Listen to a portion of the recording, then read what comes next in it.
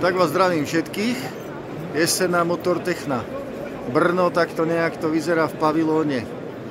Z, ale kvôli tomuto tu nie sme, sme tu kvôli, sme tu kvôli tomuto, kvôli takejto, ej, kvôli takejto peknej, kvôli takejto peknej e, knížočke od Petra Doležala.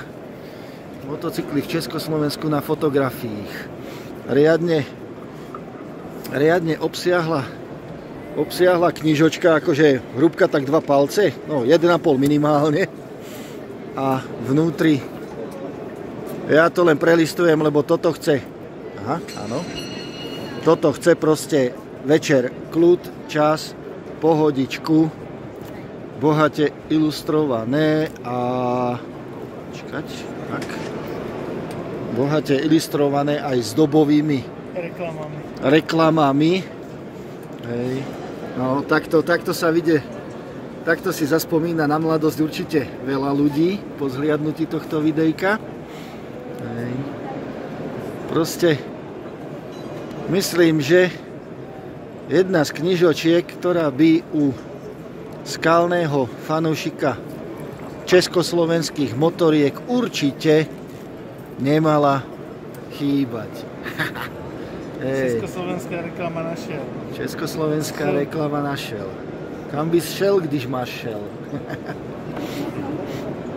tak toto si určite, dlho som už nedržal v ruke, teda takúto knižku, takúto encyklopédiu.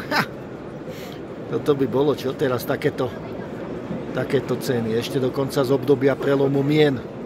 Stará mena 80 tisíc. Nová 12. Ja si myslím, že naozaj pre každého skalného československého motoristu a pre tých starších si myslím veľmi krásne zaspomínanie. No. Ja mám to šťastie, som jeden z tých šťastlivcov, že ja tú knižku ja tú knižku od autora dostanem z nejakého neznámeho dôvodu gratis. Takže, ľudkovia, Petr doležal motocykly v Československu na fotografiách. Na dlhé zimné večery, ktoré teraz idú, ja si myslím, že je to aj dobrý darček pre hoci ktorého motoristu. A keď nám už idú tie Vianoce, tak si myslím, že poobzerajte sa po tejto knižke. Váš otec, dedo, alebo aj syn, ktorému budete chcieť povedať, ako to kedysi bolo, sa tejto knižke pod stromčekom určite poteší.